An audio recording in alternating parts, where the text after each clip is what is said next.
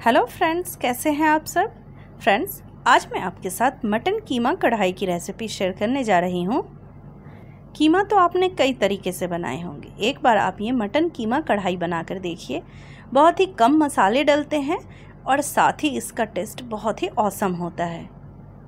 और सबसे अच्छी बात यह है फ्रेंड्स कि इस कीमा कढ़ाई को बनाना बहुत आसान है, बहुत ही झटपट जल्दी बनकर तैयार हो जाता है।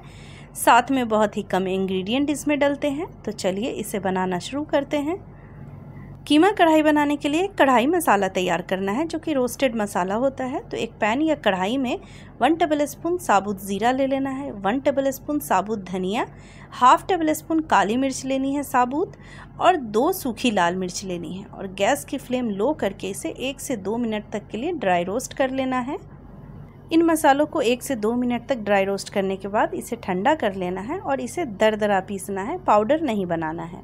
और अब इसी कढ़ाई में मैंने दो बड़े चम्मच सरसों तेल को गर्म कर लिया है। सरसों तेल में बनाएँगे तो इस कीमे का टेस्ट और अच्छा आएगा। इसमें डाल लेना है दो छोटी इलायची, तीन से चार लौंग और एक दालचीनी का टुकड़ा। उसके बाद दो मीडियम साइज़ की प्याज को इस तरह से चॉप करके इसमें डालना है। और अब इस प्याज को बस लाइट पिंक होने तक ही फ्राई करना है। जैसे ही लाइट पिंक इसका कलर आ जाएगा, इसमें हमें कीमा डाल लेना है। मैंने मटन का कीमा लिया है 300 ग्राम और इस कीमे को घर में ही मैंने चॉपर में चॉप कर लिया है और अब इसे हमें गैस की फ्लेम मीडियम टू हाई करके दो से तीन मिनट तक अच्छे से भूनना है। और फ्रेंड आप देखेंगे कि धीरे धीरे कीमे से पानी रिलीज़ होने लगेगा तो इसे हमें अच्छे से भूनना है ताकि इसका जो ये पानी है वो सूख जाए, बिल्कुल खुश्क हो जाए और कीमे का स्मेल भी ख़त्म हो जाए। तो बस इसे हमें इस तरह से भूनते जाना है और जैसे ही इसका कलर चेंज हो जाएगा, इसमें से पानी रिलीज़ होगा, तब इसमें हमें जिंजर गार्लिक पेस्ट डालना है। जिंजर गार्लिक पेस्ट डालने के बाद भी इस कीमे को एक से दो मिनट तक मीडियम टू हाई फ्लेम पे अच्छे से भूनना है, ताकि इसका जो पानी रिलीज़ हुआ है वो बिल्कुल खुश्क हो जाए और इसकी स्मेल ख़त्म हो जाए। और अब इसमें दो हरी मिर्च को चॉप करके डालना है और एक इंच अदरक के टुकड़े को जूलियन कट करके डालना है और एक तेज डाल लेना है। और जैसे ही कीमे में आप देखेंगे कि पानी खुश्क होने लगेगा, इस टाइम पे अब इसमें हमें नमक ऐड करना है। तो नमक आप अपने टेस्ट अकॉर्डिंग डालिए।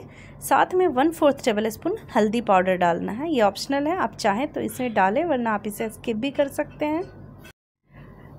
चार से पाँच मिनट तक कीमे को अच्छे से भूनना है और फिर आप देखेंगे कि कीमा से तेल रिलीज़ होने लगेगा, पानी बिल्कुल खुश्क हो जाएगा।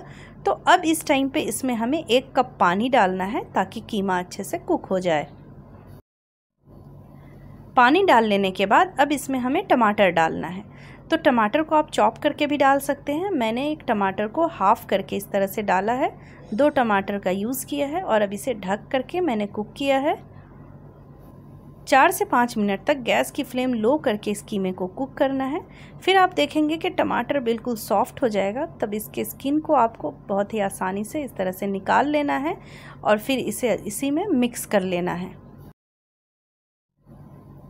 टमाटर बहुत ही आसानी से, बहुत आराम से इस कीमे में मिक्स हो जाएगा। कोई झंझट नहीं है। आप चाहें तो टमाटर को चॉप करके भी डाल सकते हैं।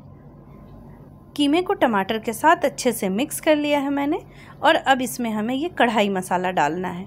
तो कढ़ाई मसाले को मैंने दरदरा ही पीसा है, इसका पाउडर नहीं बनाया है। ये मैंने one and half tablespoon इसमें डाला है। आप देख लें, आपको कितना टेस्ट इसका बढ़ाना है। तो बस, ये डालने के बाद इसे दो से तीन मिनट तक और कुक करेंगे। जैसे ही आप कढ़ाई मसाला इस कीमे में डालेंगे, इसमें से बहुत ही बेहतरीन सी खुशबू आने लगेगी।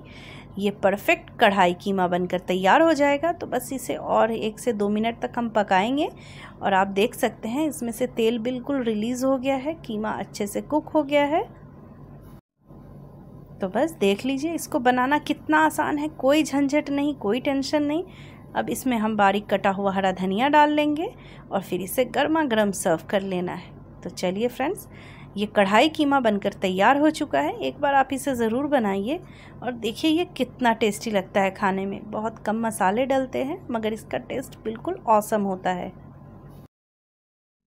और ये देखिए फ्रेंड्स झटपट ये कढ़ाई कीमा बनकर तैयार हो गया है। कोई झंझट नहीं इसको बनाने में। इस कीमा कढ़ाई को आप रोटी, पराठा, नान, तंदूरी रोटी या चावल के साथ भी सर्व कर सकते हैं। तो फ्रेंड्स कैसी लगी आपको मेरी ये कीमा कढ़ाई की रेसिपी एक बार आप इसे ज़रूर ट्राई कीजिए और मुझे कमेंट कर कर ज़रूर बताइए कि आपको मेरी ये रेसिपी कैसी लगी।